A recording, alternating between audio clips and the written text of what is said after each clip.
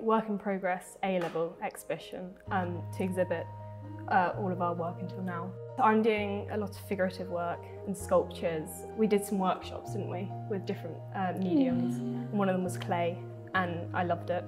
So I've been doing some clay since and I'm really enjoying it. My theme was remnants and I am working on like these childhood objects because children only know those objects. They don't really care about anything else.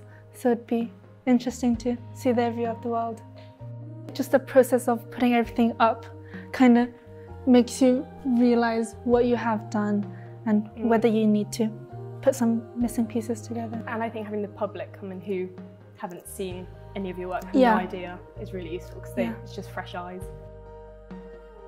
The schools that we do uh, partnerships with It's nice because it gives the chance for them to display their work Yeah. ours.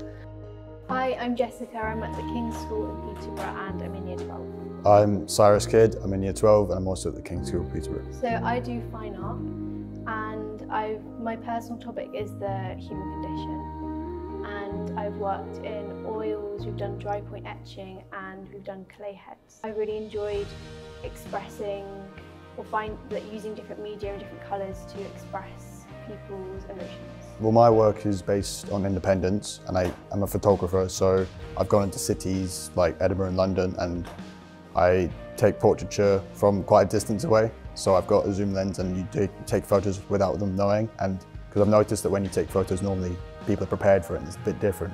So when you take photos such as these, it's got a whole different aspect to it and it's different. It's my sort of thing. I've never been very good at the whole drawing aspect and painting aspect, but um, I'm quite computer based as well. I do a lot of stuff digitally. It's, it's really nice because it gives a chance to show everyone else what you've been doing um, and what you're interested in throughout your art.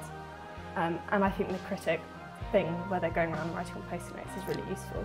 Yeah, it's like the first step of you being close to an actual artist.